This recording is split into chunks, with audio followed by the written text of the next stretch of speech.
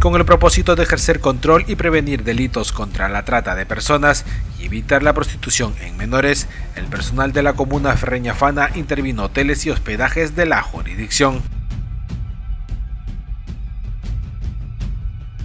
Durante la acción también se procedió a verificar la infraestructura de los locales, licencia de funcionamiento, registro sanitario, certificado de defensa civil, así como también si los establecimientos reúnen las normas básicas de seguridad. Uno de los locales inspeccionados fue el hospedaje El Chotanito, cuyo certificado de defensa civil se encuentra en vía de regularización. Estos procedimientos preventivos responden también a un pedido de la Fiscalía Provincial Mixta de Ferreñafe. Participaron del operativo personal de serenazgo, comercialización y defensa civil de la comuna ferreñafana.